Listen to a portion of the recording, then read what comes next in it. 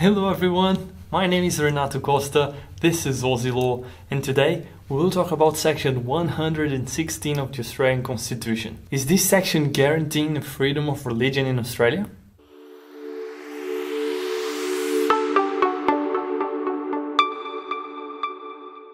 This video is part of a series about the express rights in the Australian Constitution.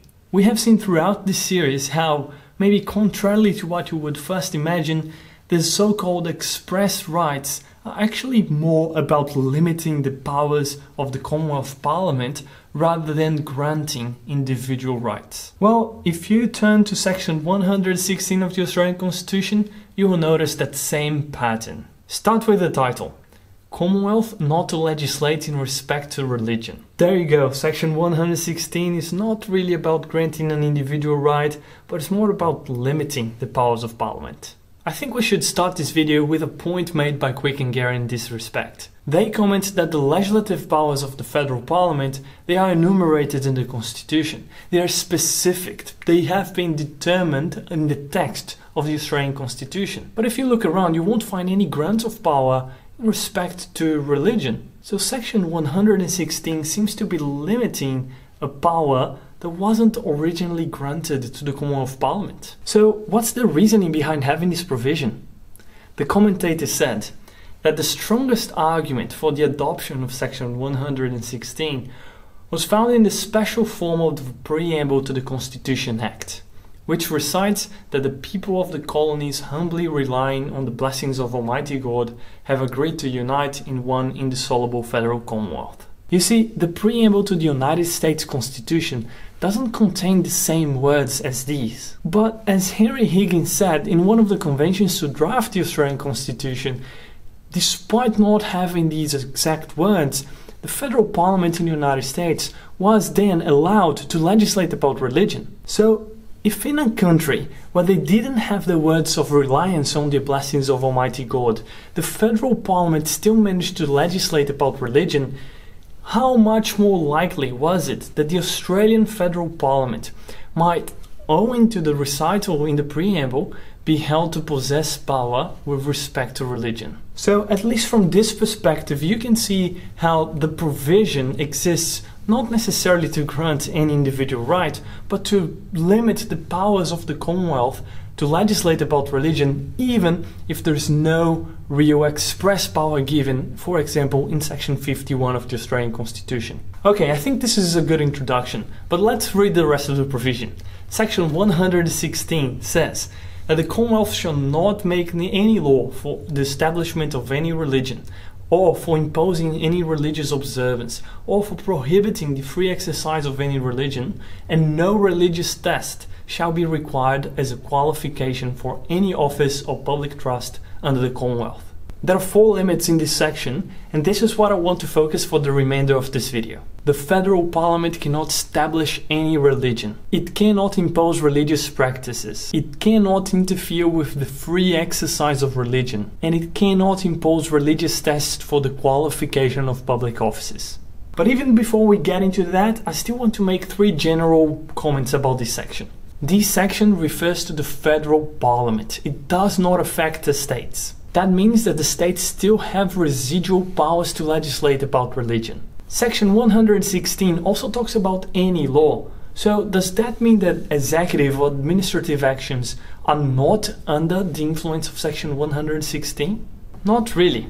The High Court has said that although the provision doesn't expressly refer to executive actions, Executive actions can be authorized under an Act of Parliament. We've talked about that already, and you can check it by clicking on the top right corner. So then, if an administrative action authorized under a particular Act of Parliament enters somehow in the scope of this section by establishing a religion or prohibiting the free exercise of religious practices, then that executive action will be invalid. And the other thing is that there has never been one single case where the High Court of Australia has found a law to be inconsistent with Section 116 of the Australian Constitution. I'll let this sink in for a moment. Okay, now let's talk about the extent to which Parliament is limited to legislate about religion. The first limit is on the establishment of any religion. To establish a religion means the identification of the religious and the civil spheres. That is, to make a law conferring on a particular body the status of being the state or the national religion or church. It is to adopt a religion as an institution of the Commonwealth. That was the gist of Chief Barwick's decision in the Dogs case from 1981. As you know, every time I mention a case or a particular book, you can access it through the links that are provided in the description of the video. And hey, don't forget to leave a like and subscribe to our channel. So here's a key aspect of this limitation. The Constitution prohibits the federal parliament from getting directly involved in or promoting a religion. In Quick and Garran's words, by the establishment of religion is meant the erection and recognition of a state church, or the concession of special favors, titles, and advantages to one church which are denied to others. It is not intended to prohibit the federal government from recognizing religion or religious practices. Lumb and Moens highlighted a difference between the establishment of religion as per the First Amendment to the United States Constitution and the establishment of any religion in Section 116 of the Australian Constitution. For them, a non discriminatory law which is directed toward assisting religion generally may violate the American provision but may not be invalid under Section 116. So, oath of office and the reference to God in the beginning of every legislative session are not prohibited under Section 116, and neither are non discriminatory financial assistance to denominational schools, and neither is the legal recognition to religious denominations to celebrate marriage. Hey, if you are liking the content of this video, just make sure that you click the like button and that you are subscribed to our channel. The second limit relates to the imposition of religious observances. The High Court has never been invited to expressly decide on this limit, but in a sense it relates a bit with this limit that we just explained about the establishment of religion. The Commonwealth Parliament cannot create a state religion and it cannot force religious or non-religious people to engage in certain religious practices. This limit then involves another important feature of section 116 the Constitution aims not only to guarantee the protection and the freedom of religion for those who are believers, but also protects the atheists or the unbelief of those who are not believers in our religion. The third limit is that the federal parliament cannot interfere with the free exercise of religion. The Commonwealth Parliament cannot legislate for the purposes of prohibiting religious practices. Did you notice that I framed that in a purposive manner? That's because of the decision of the High Court in a case called the Jehovah Witnesses case from 1943. In that case, the High Court decided that a law that has no anti-religious purposes can still be valid even if it incidentally affects the free exercise of religion.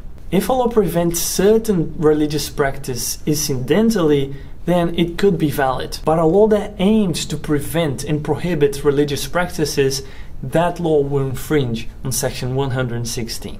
Since section 116 uses the word for, the High Court has been interpreting it in a purposive manner and has adopted a line of reasoning akin to the proportionality test. In Kruger and Commonwealth from 1997, also known as the Stolen Generations case, the High Court decided that the law must evince an evident purpose of preventing religious practices. Otherwise, it won't be in breach of Section 116 of the Constitution. It's one thing to have an effect on religious practices, is another thing to aim at preventing the free exercise of religion. The fourth limitation expressed in section 116 is that the federal parliament cannot impose religious tests for the qualification of public offices. I think the nub of this provision is pretty evident, but it means that the Commonwealth cannot demand a particular religious affiliation or even impose a particular religious creed or ethos for someone to work for the Commonwealth. You don't even have to have a religion for you to hold an office of the Commonwealth. There's a fairly recent case that became the biggest authority in this particular matter. The case is Williams and Commonwealth. We already have a video about that, so you can watch it by clicking on the card above. Williams argued that chaplains were holding public offices, and since the majority of them were religious, He claimed that that amounted to a religious test being imposed as a qualification for holding a public office. As you know, the High Court unanimously rejected that argument. The Owner said that chaplains had no direct relationship with the Commonwealth at all. Justice Heydon even said that whatever are the bounds of the definition of an office under the Commonwealth, the chaplains will be outside of it. So I hope you can see that section 116 amounts to a weak form of freedom of religion. It's much more concerned in limiting the legislative powers of parliament rather than guaranteeing an individual right.